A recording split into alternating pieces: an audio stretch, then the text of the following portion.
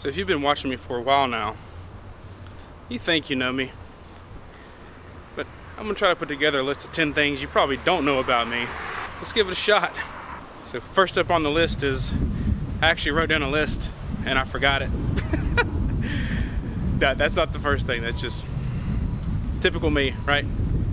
Make a list so you don't forget, but then you forget the list.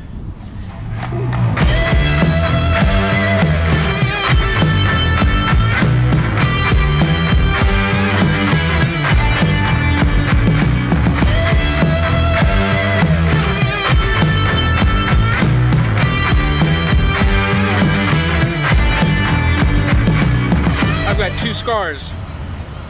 One right here, and then one on the back of my head. This one happened whenever I was a small child.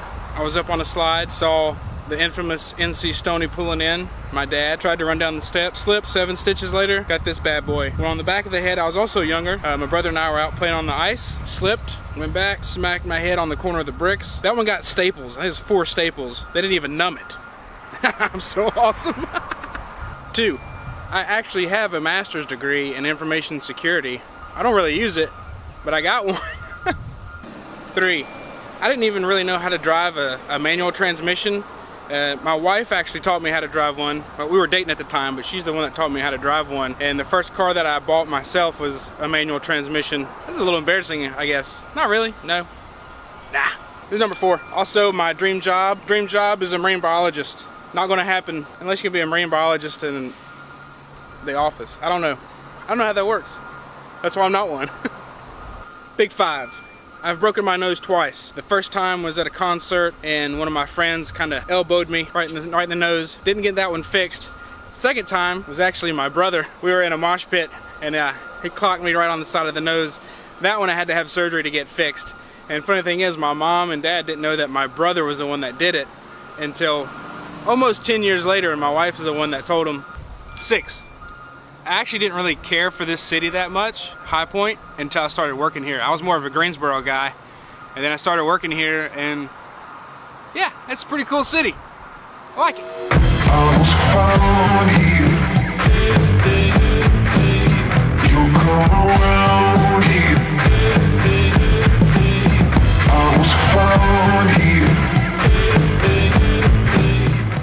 What am I on? Seven? Eight? Seven? 78? Seven. Uh, back when I had hair, I actually had a flat top for like majority of my life, probably until I was like 18. I know it was Arnold Schwarzenegger and the Predator. How do you how do you not get inspired? Come on. Number eight. I actually used to own a boat. For some reason, I had a boat. It was fun. It was a lot of a lot of fun for a lot of years. And then I sold it. Number nine, uh, may not be a surprise, but I have a vast Game Boy collection. I like to take them and fix them, mod them, put backlight screens on them. You know, cool stuff, right? Cool? Yeah, it's cool. And number 10, also not a surprise, I was in marching band in high school. I played the trumpet for a couple years and then I switched to the mellophone, which is like a marching style French horn. Eh, Whatever. The only good thing that came out of marching band was knowing how to read and play music. And the best thing that came out of marching band was that's where I met my wife. Hottie back then, hottie now. On a side note, our boat's name was Randy.